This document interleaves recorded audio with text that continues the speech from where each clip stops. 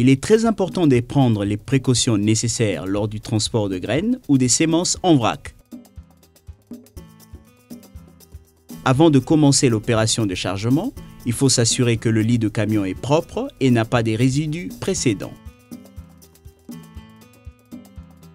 Vérifiez la présence des trous ou des fissures sur le plancher ou les rails pour être réparés. Des objets ou des surfaces pointues qui peuvent endommager la bâche de protection doivent être enlevés.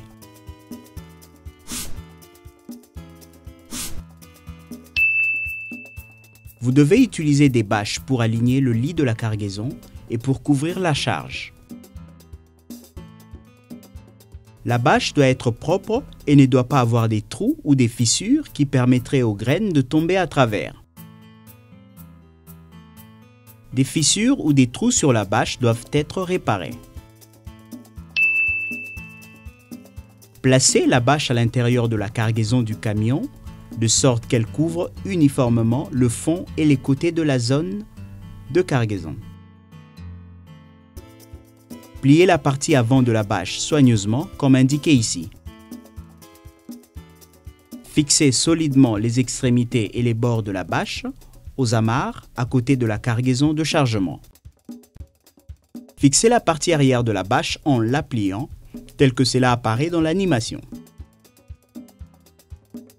Cette façon de pliage sécurise la bâche et fera que le déchargement de la cargaison soit plus facile. Fixez la bâche aux amarres ou poignées. Chargez les graines partout en arrière du camion de manière uniforme.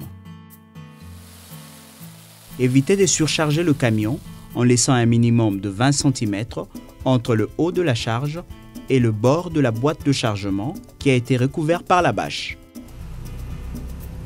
Les charges doivent être protégées par des couvercles ou des bâches qui les empêcheront de s'émouiller sous la pluie. Cette couverture protégera également les graines afin de ne pas être attaquées ou contaminées par les oiseaux.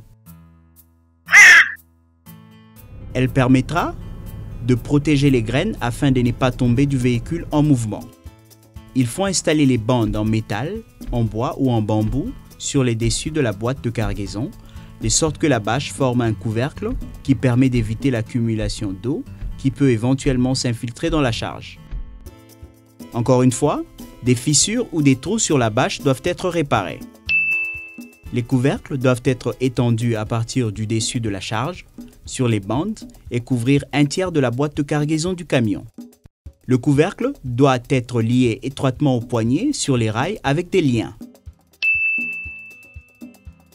Pendant le voyage, il faut s'arrêter régulièrement pour vérifier l'état de la cargaison et la bâche, et si nécessaire, réorganiser la charge et régler les amarres ou poignées de la bâche.